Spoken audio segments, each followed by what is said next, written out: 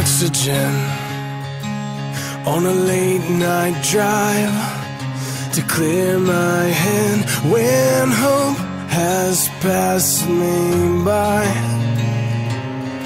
You are gravity when I'm upside down. You help me